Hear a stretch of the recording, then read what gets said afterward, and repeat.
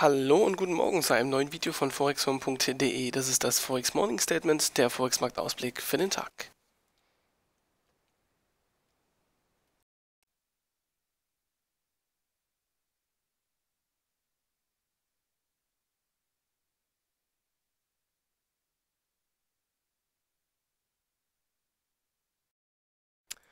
Der Wirtschaftsgelände heute zum Dienstag doch etwas praller gefüllt, beziehungsweise doch einige spannende Momente wahrscheinlich zu erwarten. Gut, in der Nacht gab es erst einmal nichts, beziehungsweise heute früh und heute Vormittag auch sehr, sehr ruhig der Markt, aber was natürlich die ersten Bewegungen ins Spiel bringen könnte, sind hier die, oder ist der Erzeugerpreisindex aus Deutschland um 8 Uhr, wird jetzt wahrscheinlich nicht diese gigantischen Bewegungen auslösen, aber doch äh, recht interessant. Gut, wie sieht die Sache weiter aus?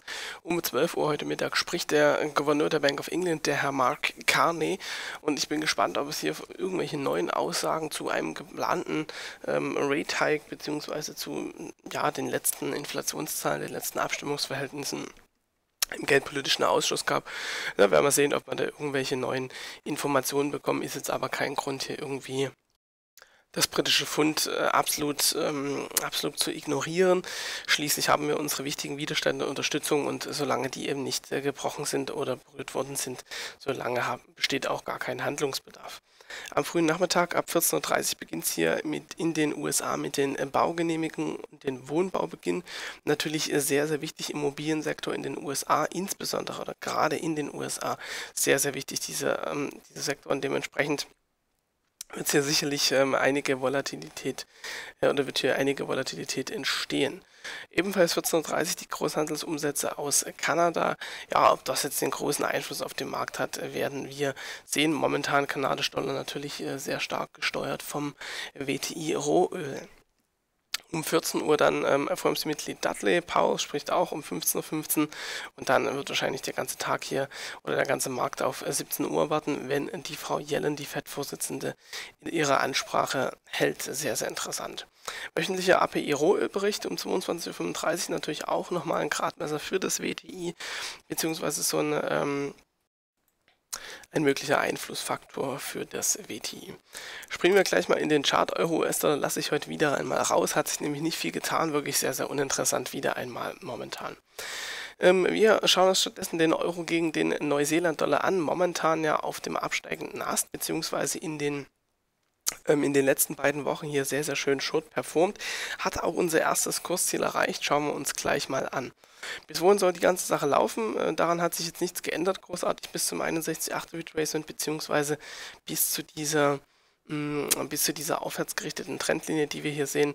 Das war so diese, diese potenzielle Bodenbildung, die sich hier gebildet hatte. Ja, wir hatten einen schnellen Retest gesehen und dann schoss der Kurs hier dennoch wieder über diese Trendlinie hinaus und dementsprechend möchte ich jetzt einen Test auf diese Trendlinie sehen, bevor der Kurs dann letztendlich wieder langfristig ähm, long laufen kann, denn das Ganze sieht wirklich hier so aus, als hätte sich so eine Art Bodenbildung etablieren können.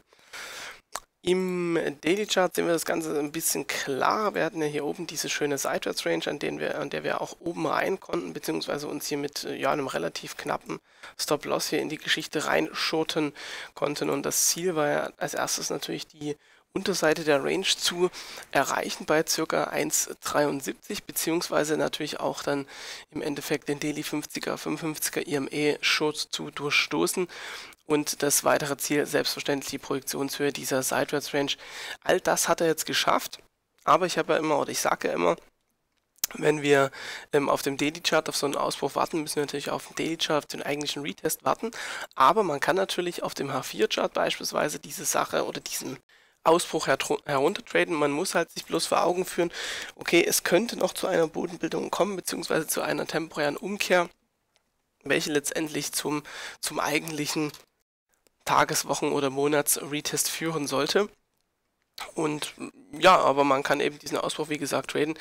Produktionshöhe war ein sehr, sehr schönes Ziel und dementsprechend sind hier ähm, zwei oder ja, zwei Positionen in den Markt gegangen. Zum einen natürlich dieser Retest auf H4-Basis, sehr, sehr exakt auch diese Trendlinie getroffen, die ich hier auf Linienchart-Basis eingezeichnet habe. Also wirklich pip genau ist er hier rangelaufen und äh, konnte, oder diese erste Position konnte jetzt sehr, sehr schöne 800 Pip generieren, beziehungsweise die zweite Position, die letztendlich hier beim das, das Ausbruchstief getestet hatte, mit diesen Spice Spikes auch sehr überschaubar zu stoppen, konnte hier ebenfalls um die, nicht ebenfalls um die 800, sondern um, um die 600 Pip, circa 630 Pip konnte hier erwirtschaften.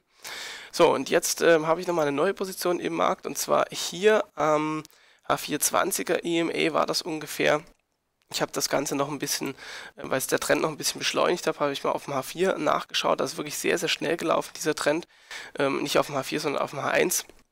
Ist auch auf dem H4 erkennbar, aber habe hier auf dem H1 ähm, die Position abgesetzt, was einfach noch deutlicher zu sehen war. Und hier hatten wir auch wieder aus dieser letzten Sideways Range ein Ausbruchstief und diesen Retest habe ich auch wieder mitgenommen.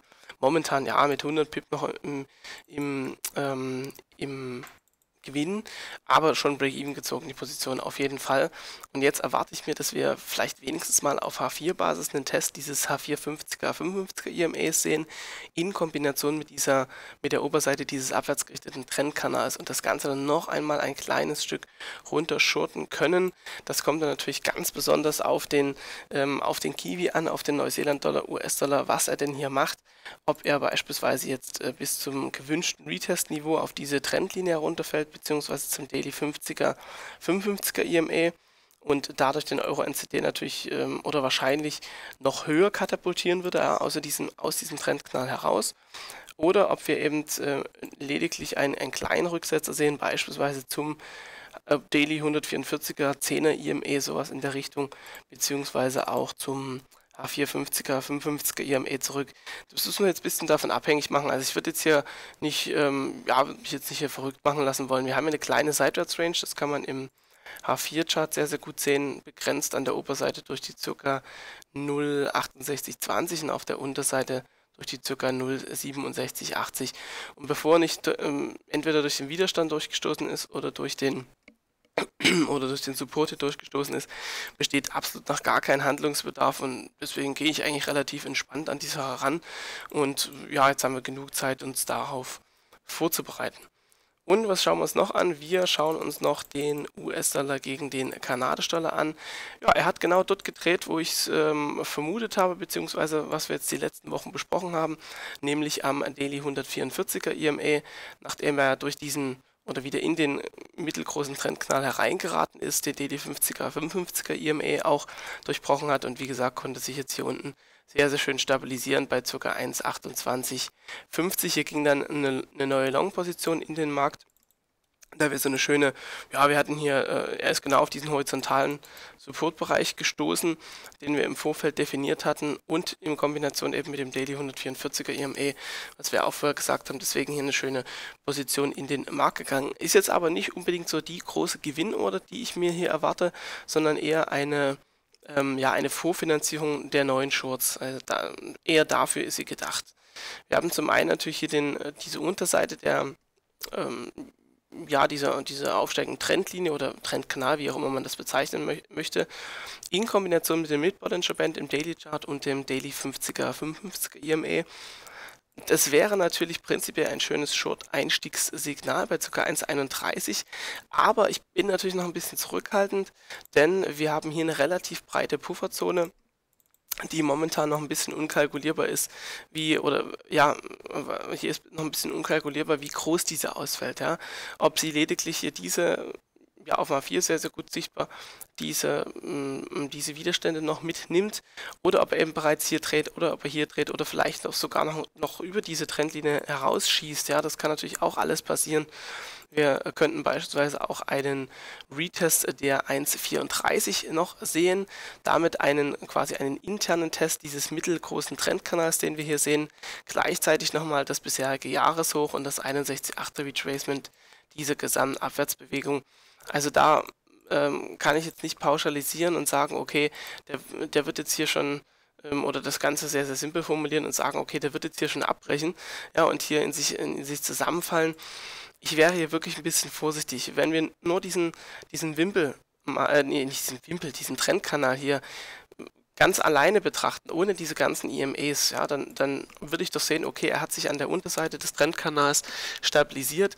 Die logischste Konsequenz wäre eigentlich, dass er wieder an die Oberseite des Trendkanals läuft und erst dann ausbricht. Ähm, und, und, und deshalb äh, sage ich, dass wir hier ein bisschen aufpassen müssen und uns nicht zu sehr jetzt auf diesen einen Widerstand versteifen. Was uns dabei natürlich hilft, ist zum einen der kanadische Dollar Schweizer Franken, der auf jeden Fall wieder neues Short-Potenzial entwickelt hat. Dazu muss ich die Pivot Points mal ausblenden. Er ist ja an der Oberseite dieses Trendkanals oder hat sich jetzt eine, er hat sich jetzt ein sehr, sehr schöner Trendkanal etablieren können.